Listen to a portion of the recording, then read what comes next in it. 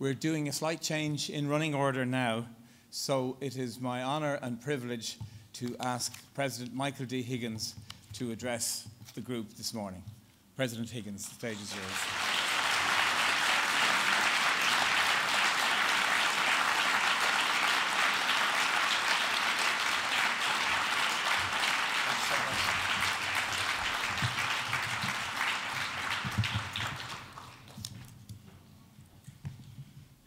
Friends, a koicha. Insofar as language is part of biodiversity, let me begin with just a few words in our own ancient language. Is min la mawika sa gwale vasachtan quire a dheliv new agus asachtan firkin folcha a darish of rum hin, agus muitig play on over tovak sha.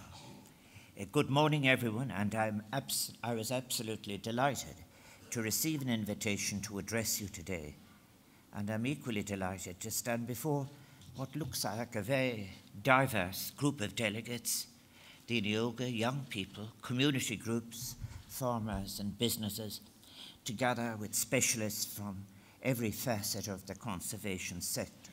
I was anxious to attend this full session to get an idea of the atmosphere of the discussion and where our discourse is now both in terms of Europe and globally. And I was particularly pleased to see that the Director General of the International Union for the Conservation of Na- Nature, Inger Andersen, whom I met yesterday, is present here. And I so very much wish her every success in her new responsibilities. And also to have just heard Umberto Clara Rosa from the European Commission. I think I want to say a few words about the context, if you like, of the discussion that is now taking place, which you have heard is very threatening in relation to biodiversity across all the indicators, but which has some strong indications of light uh, from those who are now taking action.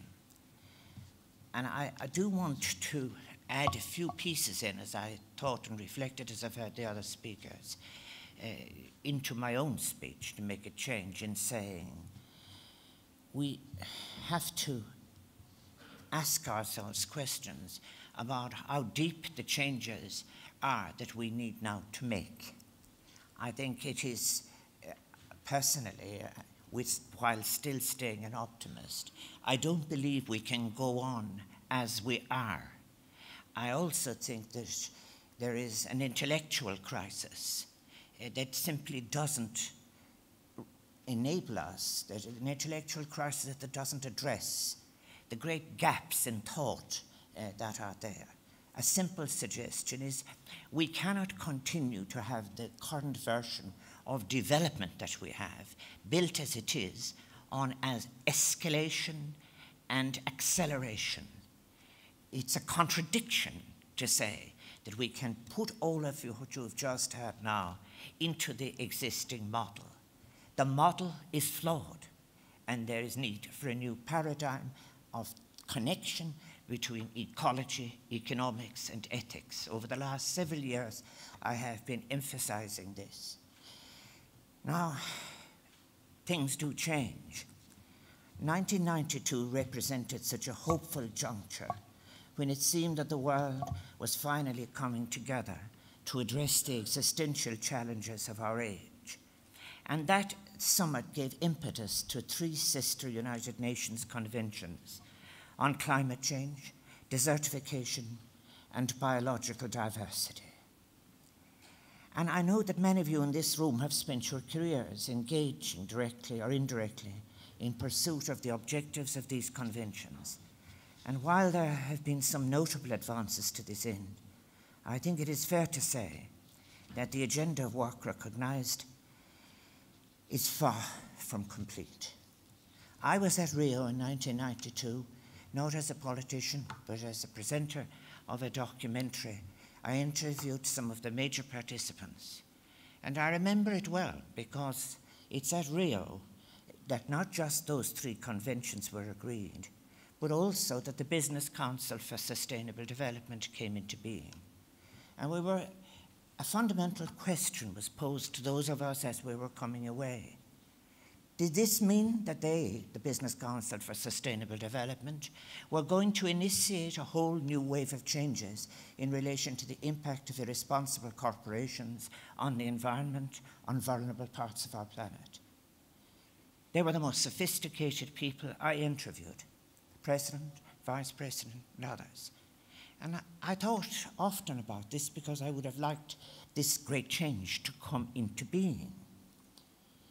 But I, Others traveling with me would say they saw that the word sustainable was going to be unavoidable now in the discourse. So you could argue that in fact they had simply colonized the new language that was coming out of what was a very rich literature. It was at that time we were so far on in the literature and the intellectual side, where people were debating between deep ecology and social ecology. And there were journals and books and meetings and seminars.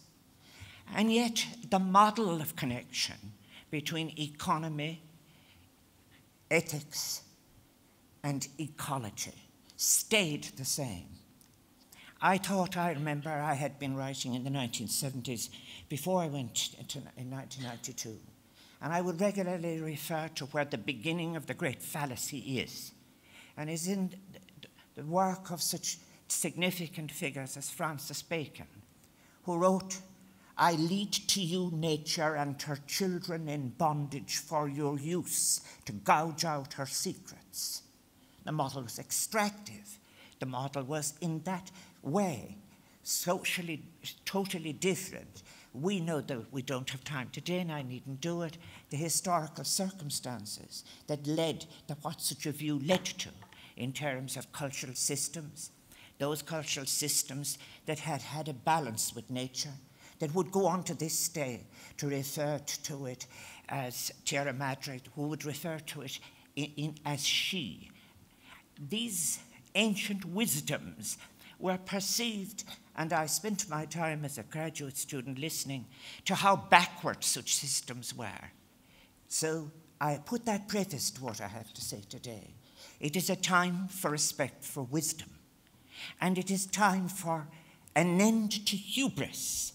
And it is a time for people to say, this dark cosmos, as Max Weber referred to it, that has come into being, now threatens so much that we must make the effort to open our minds and talk to each other and listen to each other, being able, for example, not referring to people as, I think, as experts. Why not refer to them as specialists? so that they can make it easier into the dialogue uh, in conditions of equality.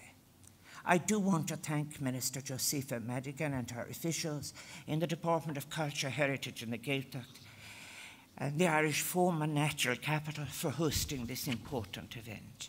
And it is encouraging to see that the department, through its National Parks and Wildlife Service, has taken this initiative to help put up biodiversity protection center stage, not only in the public's consciousness, but as importantly in the consciousness of policymakers and officials who deal with a broad range of sectors that have direct impacts on the health of Ireland's biodiversity. And if we are to take the message from the two previous speakers, this area is not just another area, it informs every other area. So, therefore, I think the notion that there is some special responsibility attached to finance, for example, if we believe in this, if we are to turn our words into meaningful action and policy, we have to think in an integrated way that there are things that you can't let go. There are things that are very, very urgent. I do very much welcome the announcement made by Minister Madigan yesterday in regard to the increased resources being made available to protect diversity. It is an important move in the right direction, a necessary step in an urgent context. But it will be tested by the experience on the ground. It will be experience, it is rather like this, I think, too. I had spoken earlier about knowledge systems. There is cognition coming to know. And then coming to know is informed by specialist opinion but in the action of applying it, there is also what is new, what has not been there before. And that is the necessary humility of scholarship delivered into action. So that, for example, farmers will say with confidence, I am doing this not because I, it is imposed upon me. I'm doing it because it's the right thing to do. And then go on to give you a lecture, drawn as much from ancient wisdom as it is drawn from the new information. And I, I, these are mistakes in which, when I was a minister myself, I'm responsible for in relation to perhaps not addressing sufficiently the quality of the, di- the dialogue. Some of you present in this room will remember that I once had ministerial responsibility for nature protection. And at that time and since, I have been lauded and indeed condemned in not quite equal measure at times for the actions I took in that role. And while I was not the negotiator of the source directive, I had responsibility for introducing the regulations that first transposed the Habitats Directive into Irish law and for initiating the process of designating the first of the special areas of conservation under that directive. And over my years in government before and since then, I've gained, I think, some understanding of the challenges that are faced in persuading the political and administrative systems, organised interest groups, and indeed the general public of the necessity to think long and intergenerationally and act in all our interests to protect our shared environmental, ecological, and climatic assets, assets that are not infinite. And I have thought of the new dialogue, forms of dialogue uh, that are necessary. And I think those who are directly involved must come to know that the project must be, do their own, be able to say, as I said, to say, we know and we know the actions, and we're doing so, and we will be able to teach others. I think that that is so important. I think as well the idea in the context we are in relation to the European Union, such a, a view of dialogue, of a new form of discourse, does not threaten anybody. But it does say, and I'm one of those who, who has said it, you can, in fact, actually kill the best idea by administering it badly. And the form of your relationship to those who are involved is very, very important. And non state actors have been, I believe, to the forefront in raising our awareness of the issues involved and of the continuing and emerging threats to our environment. The Irish Environmental Network, with a weight of 32 member organisations, 35,000 members, has been a welcome voice in our public discourse on biodiversity loss and has worked constructively with government where circumstances allowed. But it has also served and continues to serve a crucial function by challenging public policy and public authorities when they fall short of what is needed to protect our, our wildlife. And it will not be good enough, really, if we are to be for real in this area anywhere in Europe into the future. If you have to say, if you regard these issues of habitat as lesser issues, they are as important as the Finance Council. And they, you cannot really be credible if you say, we would like to do this, but we can't. It may be the case, but those who are hearing this message need to know precisely why it isn't the case. This is the whole idea of the idea of allowing citizens of the world to share the world in terms of its complexity, something that isn't happening. This, as I said, I've often quoted Max Weber in this. This is, said, when you have what comes into being, as he put it, not the invitation of spring, but the cold, icy fingers of winter with its bureaucracy. And as President of Ireland, I've been inspired by the work of communities that are indeed far seeing. I've mentioned those 35,000 members of the Environmental Network, but also those wonderful communities who took it upon themselves to restore wetlands and raise bogs, and the volunteers who are working with Birdwatch Ireland to monitor changes in bird populations, and An Taisce with its consistent and well informed advocacy for nature and it is crucial in our democracy that groups can and do act where they perceive a threat to the common good.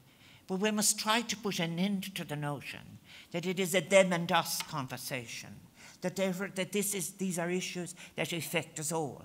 And the discourse and the dialogue, if I say to the point of tedium, must be one that addresses the new necess- necessary steps that we have to take. It's about sharing information, and it's about listening, and it's about being able to differ with courtesy. I'm encouraged by the quality of academic and research work being undertaken in our colleges, institutes, and universities, about which you will have heard much yesterday and hear more later today. The importance of scientifically grounded and evidence based policy may, is key if we're to successfully meet the changes that confront us. And those in this area of the universities, and coming from a university community myself for so much of my life, they are among the best because they have been going out and spreading their message. And it's very, very important that what we know is communicated. And in our act of communicating it, we revise our knowledge. That's how people go forward. And that is how you get a movement for nature, Mother Nature. Around the world, of course, as you have heard, the library of life, for that is what it is, that has evolved over billions of years, our biodiversity is being destroyed, poisoned, polluted, invaded, fragmented, plundered, drained, and burned at a rate not seen in human history.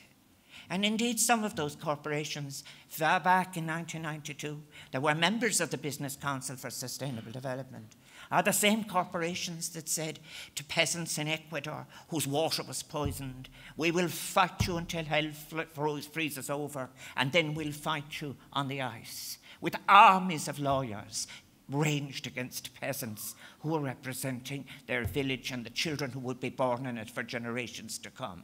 So we have to be for real. And we have to, I think, recognize the deep changes that have to be made in many levels if we are to make, if we are to stand, if we're to be, if we are to be authentic. The word that all the young people speak about now, was it authentic?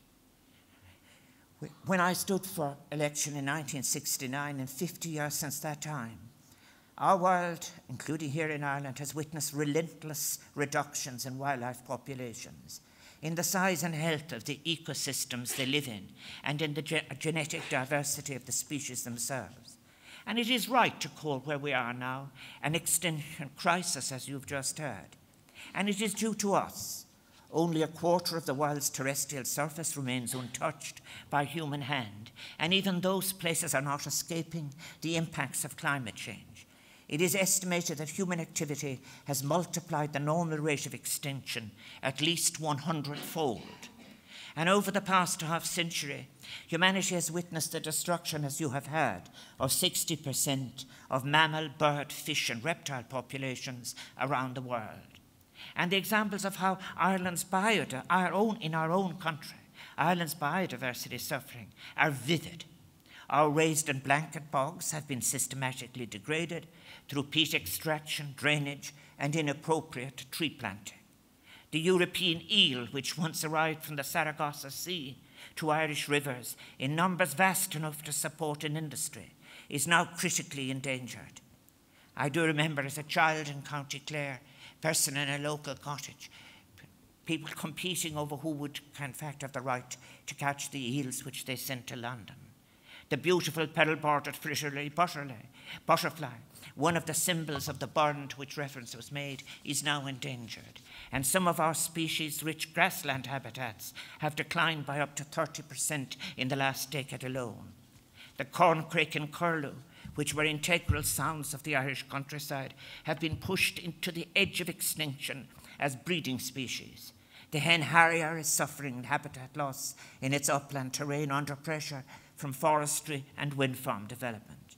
The freshwater pearl mussel, once a widespread inhabitant of our pristine rivers and a telltale species of water quality, is now in serious decline in all but bar a handful of sites.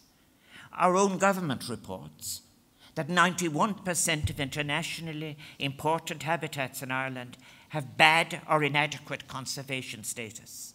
And studies over the past five years have shown that of 202 species of commonly occurring birds in Ireland, an alarming 63% are now on the red and amber lists of birds of conservation concern. 30% of Ireland's wild bee species are threatened with extinction, and studies suggest that we in Ireland are losing butterflies and bees at a faster rate than the rest of the world. If we were coal miners, we would be up to our knees in dead canaries. And I think standing at the back of what I have just been saying is this intellectual reluctance to have a meaningful, informed, philosophically informed, ethically informed debate on development. Debate on, for example, is it possible to achieve anything of what you have heard so far this morning in conditions of continual relentless escalation and at a human level in relation to ever encouraged insatiable consumption? Of course it is not. But that has a huge issue, raises a whole series of issues which, are, which can be addressed elsewhere. For example, if you wanted to have a static universe that where you could achieve most of these issues, it has implications for economic policy, which we can deal with at another time.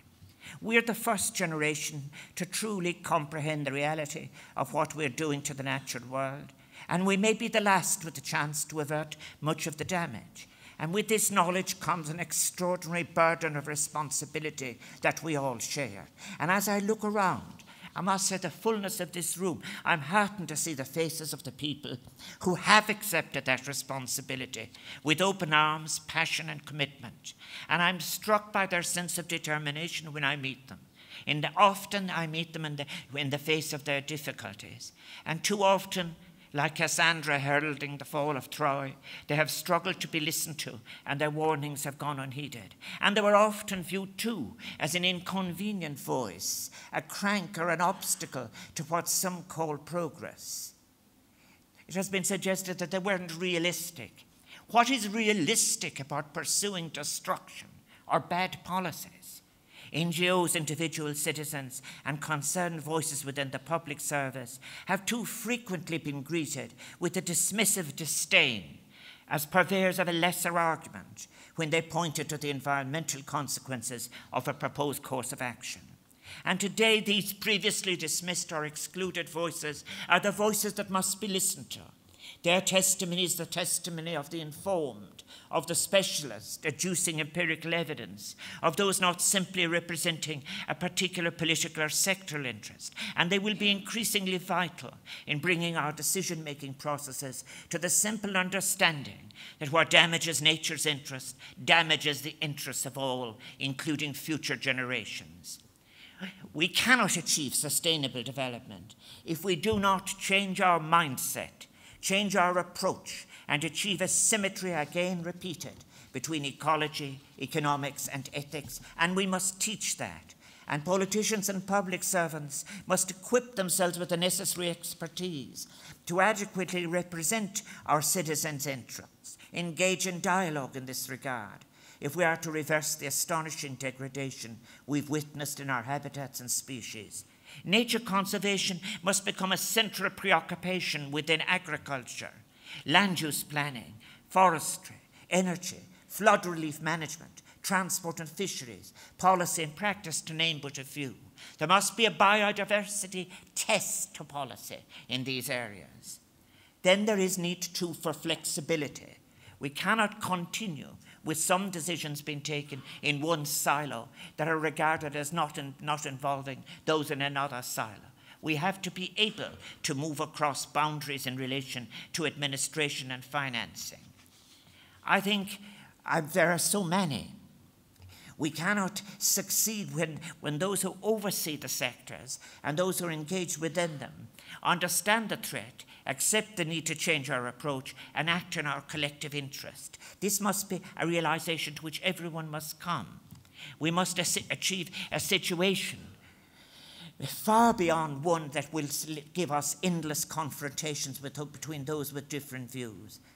I really do, I'm so, so admire those who, communities, individuals who are springing forward to clean a beach, restore a bog, the nature friendly gardeners, the tidy towns committees, the 7,000 citizens who've been submitting hundreds of thousands of records to the National Biodiversity Data Centre, collating these and many other biodiversity records, and in doing so, strengthening the linkages between conservation scientists, civil society, and government agencies. And I was glad reference was made to the Burren. The success of the innovative farm led programs such as Burren Life and Aran Life are so valuable, where the important role of farmers as custodians of the land was acknowledged and respected, and where the European Union and government departments have shown that they can work together in the interests of conservation. And there's a huge difference between the announcement of a program and when a farmer can say, I am doing this because I believe it's the right thing to do, and be able to tell you why, drawing not only on the detail of the scheme, but also on the ancient practices that bound him and his ancestors to nature. And I think that these are, this is all very welcome. But I just wonder very much, too, are we making the best use of the significant level of public money that we are spending on environmental measures in the agricultural sector? And whether we're doing enough to harness the goodwill of farmers towards biodiversity protection? And can we improve this? And I think that assessment of the benefits of the existing farming subsidies has been fairly weak. Farmers and foresters must be clearly encouraged away from what we know are damaging practices and encouraged towards farming in harmony with nature. And in this regard, there is a critical role for the European Commission and for our own authorities in creating the context in which Irish farmers can move quickly towards truly sustainable agriculture. The All Ireland Pollinator Plan is an example of exceptional public engagement, and its success in raising awareness and stimulating action for the plight of our pollinators is unparalleled. And I'm hoping that even in Áras an Uachtaráin, we can become more involved in this initiative soon. We must remember, too, that the wealth of biodiversity in our marine waters Recent surveys by the Marine Institute and the National Parks and Wildlife Service have mapped habitats as deep as 300 metres, revealing escarpments, seamounts, and cold water coral reefs. Meanwhile, the enormous undertaking of the Observe programme has seen the mapping of whales, dolphins, and seabirds across hundreds of thousands of kilometres of our seas. We've never known so much as we do today about the world around us and its wonder and the curiosity we can have for it. And like many others, I've been impressed by the brilliant cinematography, the passionate presentation of recent nature documentaries, Wild Ireland, The Edge of the World, Eco Eye, Living the Wildlife, Wild Cities, among others. And they are vital in bringing the wonders in modern communications technology of our wildlife into view, but also in alerting us to the dangers that it faces. And they're reminding us of what we are losing as a consequence of existing practices that fallaciously see such resources as inexhaustible. Our natural world and the crisis it is currently undergoing demands more and more of this type of coverage and dissemination to help the public appreciate the urgency of action to prevent its destruction. And I'm encouraged that these issues are being picked up within mainstream journalism. For example, in the Sunday Business Post last weekend, Tom McGurk had very interesting and stark things to say in an article entitled Insect Apocalypse is a Wake Up Call for Us All.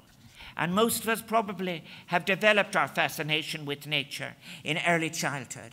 For some of us, that wonder diminishes may as we grow up, and it is a tragedy, and become distracted by life's preoccupations. But for many, it remains dormant, and it is there ready to be awakened. The enduring popularity of nature programs is surely a testament to this curiosity and wonder that can be used to rekindle people's innate fascination for and interest in nature. And hopefully, it may engender a general awareness of the importance of protecting nature. And this is connected to matters cultural. We need only think of An Bradán Feasa, the salmon of knowledge, the children of Lir, Toria, Guirmatas, Gronia, for evidence that at a time where we were far more comfortable and in tune with the world around us, where we were not in violent contestation with nature, but we were in symmetry, in shared imagination. And in this 21st century, more and more people are now living in urban centres that seem far removed from the natural world. And in rural Ireland, how many of us take time really to notice the changes that are happening all around? In many ways, and I don't want to sound too pessimistic, but it is necessary I think, to be honest, to say it is part of the hubris of that which we have titled modern civilization, modernity, modern consumption and life, and how we have allowed it to develop. We have come to see ourselves as somehow separate from nature, as I said, at times in violent competition with it, or even the assumption that we inhabit a distinct ecosystem that is immune from the damage that we are causing all around us. And the strides we've made over the past hundred years in the provision of healthcare, education, transport, and information technology have not prevented us from at the same time wreaking havoc in the natural world a world in which we rely for water, for food, for well being. We have been living an incredible contradiction in this regard. The more we eat into this natural capital, the less resilient we will be to the shocks that we know we should expect. That is the essence of an unsustainable, unhealthy system of living, a system that for all our sakes must change. And at a broad level, I observe that our society and economy do not seem to comprehend the extent to which we rely on nature, its renewal and resilience. This has already been dealt with by a previous speaker.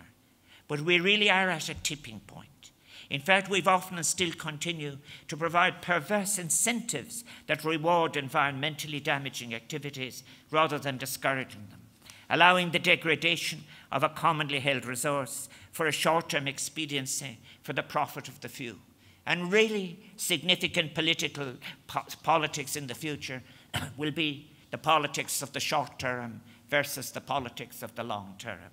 I've been vocal in my view that there is a gross inadequacy in our current economic orthodoxy to either understand or to address the existential challenges that confront the world today economic discourse must ask why is it putting barriers to the entry of ecological thinking, or indeed social economics itself. And the institutions that support the narrow view have serious questions to answer as to what they are offering by way of what, how in fact actually they are damaging policy formation.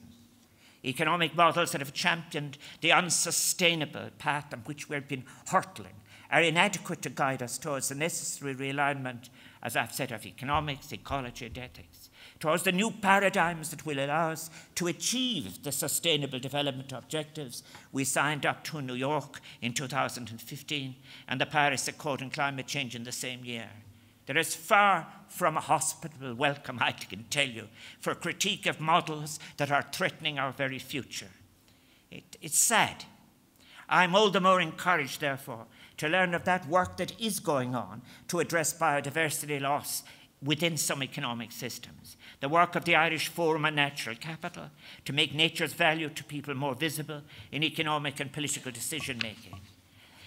The idea that nature constitutes a form of capital that is no less for legitimate for inclusion in policy formation or models of financial capital or manufactured capital, and that the economy and indeed society is wholly dependent on it and should value and account for that dependency is a crucial one. It's a useful one that must be taken up on a much broader level. It is one approach and not an exclusive one. There are other approaches that sit side by side with it, derived from ethics. And while it is undeniable that nature has as much of a right to be here as we do, and that we should protect it for its own sake, it is simultaneously true that saving the planet is not only about saving nature, it is about saving humanity. And the time frame in which we must transform our world into one that makes space for a recovered respect for nature is perilously short, and every opportunity to effect the needed changes must be seized. I think it is very, very important that there is an enormous quantity, quality, and diversity of expertise in this room. You are biodiversity's greatest allies, and Ireland needs to hear what you are telling us. And use as an expertise. I prefer to regard it as a specialism that we need, and it needs more attention, telling us that climate change and biodiversity loss are happening at an alarming rate, that they are interconnected, and that action is needed to arrest both telling us, and I agree, that there is an urgent need to elevate the agenda for biodiversity conservation, uh-huh. as well as the climate change agenda, both here in Ireland and in the international context. And reversing that loss, biodiversity loss, will require all of us to be frank in our discussions, to be leaders within our own spheres of influence, in our homes, our places of work, our circles of friends, our schools and universities, in our communities of place and of faith, because there is a profound spirituality that supports respect for Mother Nature. To demonstrate the message that our biodiversity, our natural heritage, is our right, but also now, in these conditions, our responsibility. And of course, government has a particular responsibility in responding to all of this and setting appropriate policy frameworks representing the long term common good. And it is with government ultimately that responsibility rests, but government needs encouragement to that end and needs help in seeking a common purpose between farmers, field ecologists, corporations, conservationists, politicians, rangers, agricultural specialists, community groups, all working together with generosity, patience, understanding, and hope too, and a discourse that encourages hope. Ireland has taken many strides in the past century, and our citizens know on a deeper level than most that unity and doing things together, like Freastal and Bealach walking the same street in the same direction, even if we differ. Our goals are what should unite us and motivate us to keep moving through the fog of conflicting interests. Do we want to be the generation who knew the scale of the loss and understood its profound and irreversible social, cultural, political, economic, environmental, and ethical consequences, and did nothing? I believe no. Do we want to be the people who saw the trajectory of business as usual and said, we will change, we can do better? I believe we want to do that. As President of Ireland, it is my role to represent the citizens of this country, not only for now, but as much as possible, in protection of their imagined futures. And I would like to say to you, the conservation community, and its friends and allies. I will seek to amplify your voice and be with you together as a nation as we seek out a new horizon for nature. And I so wish you every success in your deliberations at this inaugural National Diversity Biodiversity Conference. I thank you again for your information, for your, for your invitation, and for your patience in listening to my thoughts. Guim graharif berbanach agus míle buíochas don tácaí. I wish you so much success for the future.